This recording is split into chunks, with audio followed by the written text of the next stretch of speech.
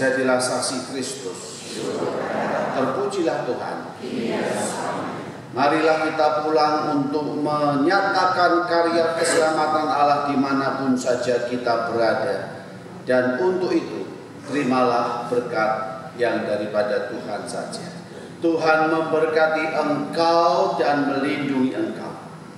Tuhan menyinari engkau dengan wajahnya dan memberi engkau kasih karunia. Tuhan menghadapkan wajahnya kepadamu dan memberi engkau damai sejahtera. Amin.